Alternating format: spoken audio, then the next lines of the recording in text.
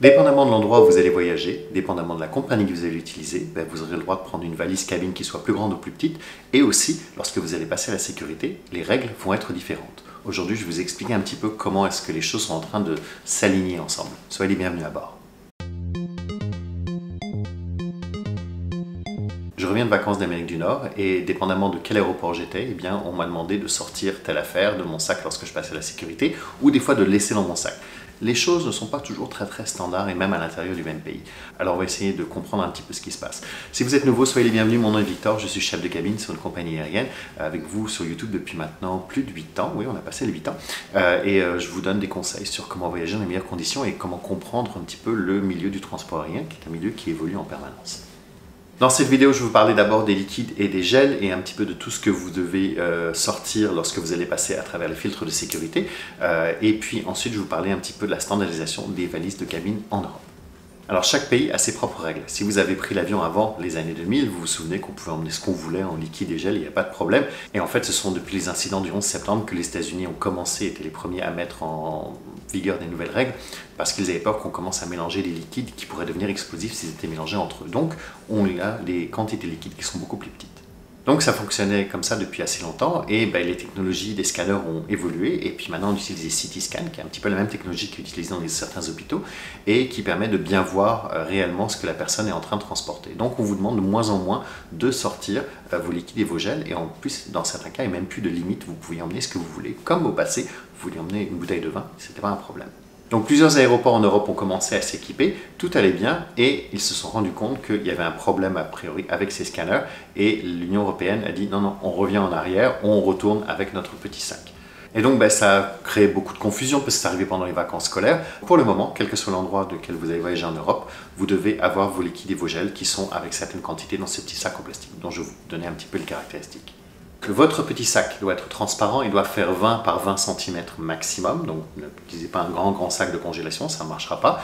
Et euh, les liquides et les gels que vous avez à l'intérieur doivent être dans un contenant qui soit maximum de 100 ml. Donc à vous de bien choisir qu'est-ce que vous allez emmener. Bien sûr, les médicaments euh, et les produits pour bébé ne font pas partie de ce quota, donc ça c'est quelque chose qui est à part. Donc si vous avez emmené un sirop ou certains liquides pour faire une injection, dans ce cas-là, euh, amenez les ordonnances, ça ne va pas rentrer dans ce quota. L'Union européenne demande à ce que ce petit sac de 20 par 20 cm soit mis euh, séparément euh, dans un panier lorsque vous allez passer au rayon X. Moi, je n'ai pas été en Europe personnellement depuis 2019, euh, mais je peux vous dire mon expérience aux États-Unis. elle était assez inconsistante. Donc, je suis passé par Los Angeles, par Las Vegas, par San Francisco et aussi par l'aéroport de New York Kennedy. Et sur tous ces aéroports, on m'a dit de laisser mon petit sac de 20 par 20 cm à l'intérieur de mon sac à dos. Il n'avait pas besoin de le voir physiquement. Le scanner va être capable de le voir, c'est suffisant. Donc là, au moins, ils étaient consistants. Par contre, on a aussi d'autres choses que vous devez euh, sortir lorsque vous allez passer à la sécurité. On va parler des objets électroniques, notamment des ordinateurs portatifs et des tablettes. Là, par contre, on m'a systématiquement demandé de les sortir, sauf à Las Vegas, on m'a dit laissez-la dans ton sac. J'avais juste une tablette avec moi, on m'a demandé de la laisser à l'intérieur du sac. Mais préparez toujours votre ordinateur ou votre tablette pour qu'elle soit accessible pour pouvoir la sortir et la mettre également séparément dans un panier.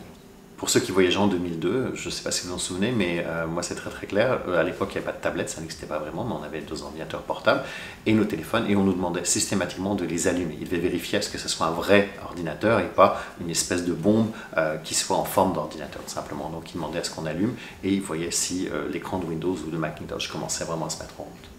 Lors de mon passage en Amérique du Nord, à chaque fois on m'a dit laissez vos téléphones dans votre bagage. Donc euh, je n'ai pas besoin de le sortir, mais ça peut être différent. Je vous dis en Europe, euh, des fois d'un pays à l'autre, même à l'intérieur du même pays, c'est presque on se demande si c'est pas la tête du client, mais on, peut vous demander éventuellement de sortir votre téléphone.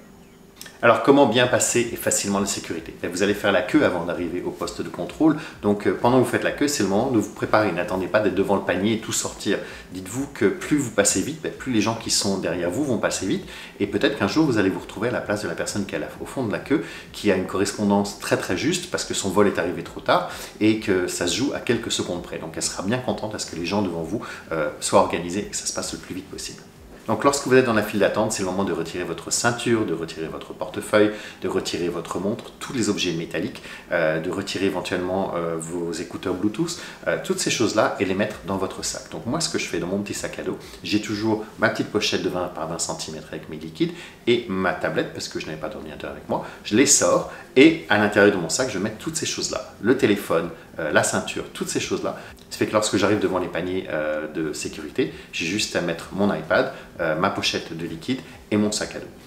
Autre chose qu'on peut vous demander de retirer, ce sont vos chaussures. Dans la plupart des cas, vous allez devoir les retirer. En Amérique du Nord, vous faites partie du programme TSA PRE, qui est en général réservé aux passagers qui voyagent aux États-Unis, enfin qui sont résidents américains, euh, et à certaines personnes âgées, euh, enfin plus âgées, euh, qui peuvent garder leurs souliers, sinon vous allez devoir retirer vos chaussures.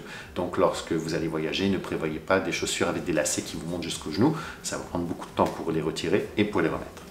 Aussi, si vous avez emmené une bouteille d'eau, bah, c'est le moment de la vider avant de passer à la sécurité, euh, même si c'est une bouteille réutilisable ou une bouteille en plastique classique, puisque vous ne pourrez pas emmener ces liquides à travers les filtres de sécurité. Une chose que j'ai jamais compris, peut-être que certains d'entre vous ont la réponse et j'aimerais bien la lire dans ce cas-là dans les commentaires. Pourquoi est-ce que je peux passer à travers la sécurité avec une bouteille d'eau vide qui fait 75 centilitres, alors que dans euh, ma petite euh, sac plastique de 20 par 20 cm, si j'ai un tube de dentifrice qui faisait 200 ml, mais qui me reste juste dedans de quoi me brosser les dents seulement une ou deux fois, là par contre il va être retiré parce que le tube est trop grand, sachant que je ne peux pas remplir du dentifrice après la sécurité. Donc jamais vraiment compris euh, pourquoi il y avait cette règle-là. En tout cas, si vous avez la réponse, j'aimerais bien la connaître. Maintenant, on va parler de la standardisation des valises de cabine, mais juste avant, je voulais vous rappeler, si vous n'êtes pas encore abonné sur ma chaîne, je vous invite à le faire. Vous avez un petit bouton rouge sur le côté, je pense qu'il est par là. Vous pouvez euh, également activer la cloche, mettre un pouce vers le haut et euh, inscrire dans les commentaires si vous avez des questions ou les sujets que vous aimeriez que je traite sur ma chaîne. Vers la fin du mois de juillet, j'ai vu passer sur YouTube et j'ai lu quelques articles disant que bientôt, euh, il va, ça va être standard, les valises de cabine en Europe, quelle que soit la compagnie, vont être standardisées. Il y aura une seule taille qui sera autorisée comme valise de cabine en Europe, ça va simplifier les choses. Euh, et j'en ai plus entendu parler. Alors avant de faire cette vidéo, j'ai fait quelques recherches et je me suis rendu compte que non. non, non. Alors voilà ce que j'ai trouvé, je vais vous lire le, texte exact. Certaines informations erronées euh, se sont répandues car aucun règlement européen euh, à venir ne prévoit de changement en ce qui concerne les règles relatives au bagage à main. Par contre, ce qui est vrai, c'est qu'en juillet 2024, pour que j'en ai entendu parler, les services de la Commission ont organisé un atelier avec toutes les parties prenantes intéressées pour discuter d'éventuelles normes industrielles communes sur le poids et les dimensions des bagages à main. Donc il y a quelque chose qui va arriver, je ne sais pas quand, mais euh, ça va être vraiment le bienvenu. Parce que pour le moment, lorsque vous allez voyager, bah, dépendamment de la compagnie, vous allez avoir des règles qui sont différentes. Alors, pour préparer cette vidéo, j'ai été sur les sites internet de trois compagnies. J'ai été sur EasyJet, j'ai été sur Transavia du groupe Air France et j'ai été sur Air France et j'ai regardé quelles sont les différences. Sur les trois compagnies, on vous autorise gratuitement à avoir un objet personnel. En général, ça va être un petit sac pour mettre ordinateur, votre sac à main ou quelque chose de petit. Et éventuellement, si vous payez un supplément, vous avez le droit à une valise de cabine. Dans le cas d'Air France, c'était inclus. Je vais commencer par comparer les objets personnels. Euh, je commence avec EasyJet. Les dimensions de cet objet personnel font 45 par 36 par 20 cm. Si vous allez sur Transavia, c'est un peu plus petit, c'est 40 par 30 par 20 cm. Et si vous allez sur Air France, qui pourtant est la maison mère de Transavia, c'est encore plus petit parce que c'est 40 par 30 par 15 cm. C'est intéressant de voir qu'EasyJet vous en donne plus, mais Air France vous donne une valise de cabine incluse, donc je peux comprendre.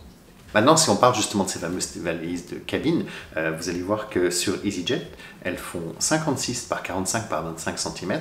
Attention, dans tous les cas, ça inclut les roues et les poignées. Donc vous devez considérer vraiment toutes ces dimensions. Si vous voyagez sur Transavia, c'est un, un, petit peu plus petit, 55 par 35 par 25, donc on a perdu un 10 cm, et Air France a les mêmes réglementations. Ce fait que pour le moment, lorsque vous allez voyager avec une compagnie, surtout une low cost, vous devez vraiment vous assurer que les dimensions de votre valise de cabine ne dépassent pas ce qui est indiqué sur le site internet de la compagnie. C'est indiqué également sur votre billet d'avion. Donc si vous avez un doute, allez voir votre réservation, vous allez voir toutes ces informations. Et donc, si vous n'êtes pas fidèle à une compagnie en particulier, ben, vous allez avoir une valise pour Ryanair, une valise pour EasyJet, une valise pour Transavia, etc.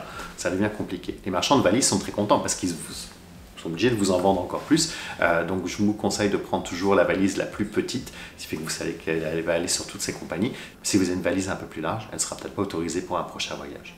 Mais au moins, il y a un peu d'espoir puisqu'on est en train de regarder pour éventuellement aligner toutes ces choses-là. J'espère que cette vidéo vous a plu et vous aura instruit un petit peu. Si vous avez des commentaires, des questions ou des suggestions d'autres vidéos, vous pouvez toujours les mettre dans les commentaires. Vous pouvez également me rejoindre sur Instagram. Le compte c'est Victor Voyage et on se retrouve la semaine prochaine. Passez une bonne semaine. Bye.